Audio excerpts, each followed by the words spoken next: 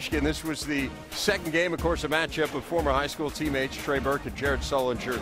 Each team had won once in their two meetings this year, but Ohio State just came out on fire. Sullinger puts the Buckeyes up by seven, and Michigan just couldn't get anything going early on. They were one for their first 10. Jordan Morgan had all kinds of troubles inside, and then charge call there on Trey Burke.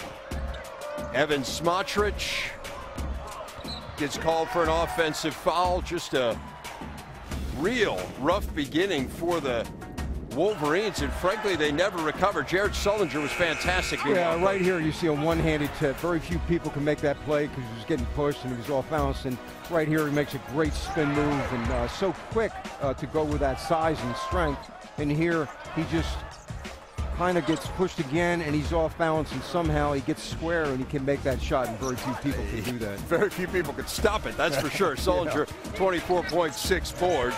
Deshaun Thomas down low, 40 to 24 points in the paint advantage for OSU, and it was a tough day for Trey Burke, Jimmy. Yeah, every every player goes through this day, but you know one thing about this young man, he'll learn from it, he'll get better, and he will be, will be prepared to play come NCAA tournament time. Yeah, Burke really could not get it going, and they just had no answer for Ohio State. Thomas had 22. It was a 19-point lead. And Thomas again for the putback as Ohio State cruises into the final 77 to 55, their fourth straight title game appearance. The first team ever to make four in a row. It'll also be the sixth time in the last seven years they have appeared in the final. They will try to become just the second three seed ever to win the Big Ten tourney. Purdue did it back in 2009.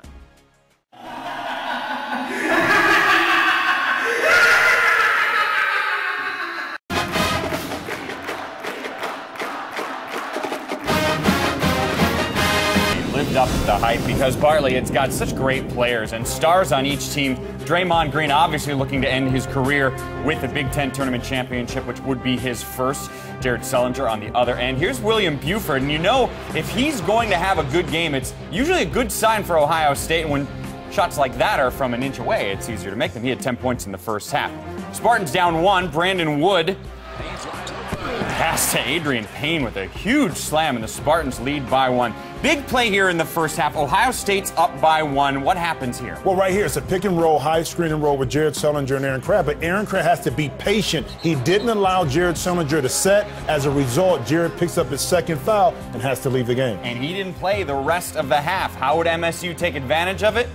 Brandon Wood. That's how. Yeah, the offensive rebounds as well, Mike.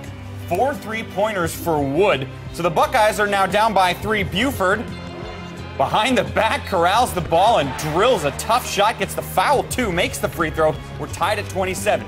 Under two minutes left. The Spartans lead by one. Walk me through what happens here. Well, again, off, the shot goes up, offensive rebound. Jared is not inside. Look, Draymond Green inside, one opportunity, two, three. Now he goes up. So losing Jared early creates an opportunity for Michigan State to score on the offensive end. So at halftime, Draymond and the Spartans are up by two. Second half, guess who's back? Sully's back and he's got some range. Well, he can shoot that, and he shot, he shot it in high school. He doesn't do a lot of it, but he has the form and determination, and he took that shot with confidence. Saw him highlight a couple segments ago. Oh, look at that for a highlight. That's Adreian Payne with the big slam again. We're tied at 44.